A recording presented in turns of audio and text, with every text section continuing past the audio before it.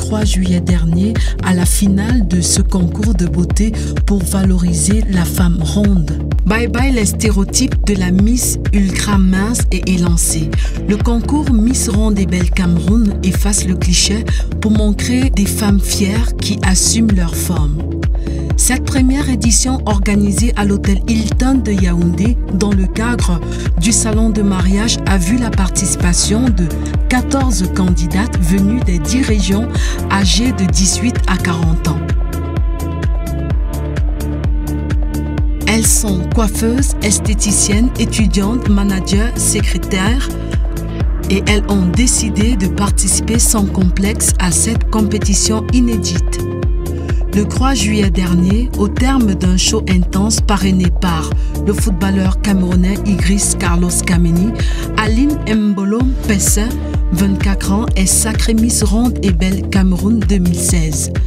Lina Germaine Simeux, 21 ans, et Stéphania Batilan Koulou, 22 ans, sont quant à elles reparties avec des écharpes de première et deuxième dauphine. Elles sont heureuses d'être les pionnières de ce concours de beauté inédit. J'étais émue de voir qu'il y a des personnes qui nous encouragent à nous accepter tels que nous sommes.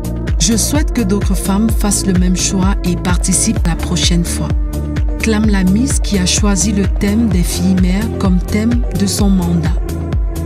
Pour Dorette Boué Ndjele, présidente du comité d'organisation Miss Ronde et Belle Cameroun, parce que nous suivons de plus en plus le modèle occidental, ce sont toujours les filles minces qui sont sous les feux des projecteurs, alors que la femme ronde caractérise la majorité des femmes camerounaises, des femmes africaines.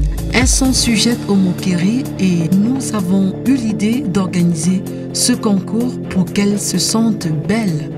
Le but avoué est de démontrer que malgré des formes un peu trop généreuses, une femme est capable de réaliser ses rêves et de contribuer à l'essor de son pays.